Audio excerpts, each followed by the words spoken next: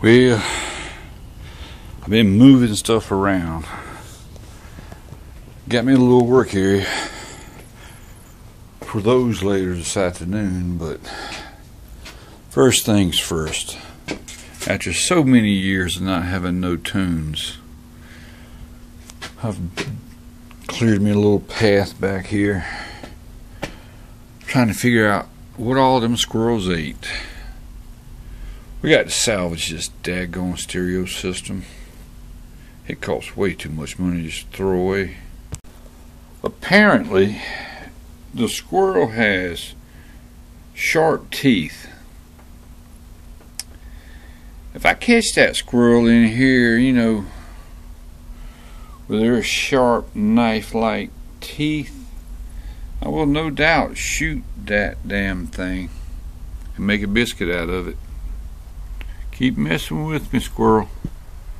Alright, I have spliced the top speaker wire, the bottom speaker wire. Now those two red and blacks there, I believe they called speakers. So that obviously is the power lines there going to the speakers. What I don't understand is uh, what this auxiliary is for. See those auxiliary cords there? I do not understand that. It looks like who knows what it is. I ain't got no idea. I guess you could plug in an auxiliary power. What does that say underneath there? I'll check it out when I can bend down that far. Let's try to put the power to it. The power here, luckily, I chased it down and uh, it seems to be okay. I'm hoping we can get sound out of this thing. Mr. Squirrel, woe be unto you, right? Biscuits coming up soon. I hope. all right. There it is. Look at all those little splices. it's time to turn it around and see what happens. This little uh, antenna runs over to here and goes in there. It says FM antenna. This AM antenna is snipped.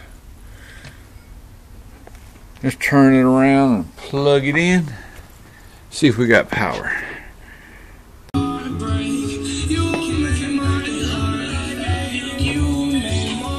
I did it! It works! Yay! Yay! It works! It works! I ain't had music in the garage in damn years.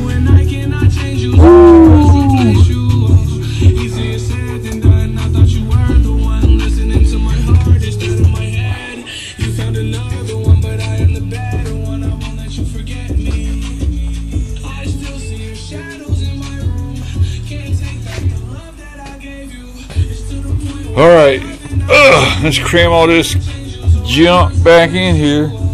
Uh, uh, oh, damn it. and do some uh, mechanic on those heads. You always got to have your heads just right. Y'all, y'all understand? You got to keep your heads turning, baby. Whoop whoop. Been about an hour and it's still working. How you like that? All right. Two heads. We need to tear them apart take them apart piece by piece, clean them, grease them. I mean, because it only take right at $200 to replace them. And then 30 or $40 for a head. Holy moly. Let's try to save two hundred and clean them. Yeah, after doing all this here, moving two motors out from there into the rear, I broke a sweat, man. I had to plug in that little uh, fan. Whew. Let's go, go, go, go. Clean some heads.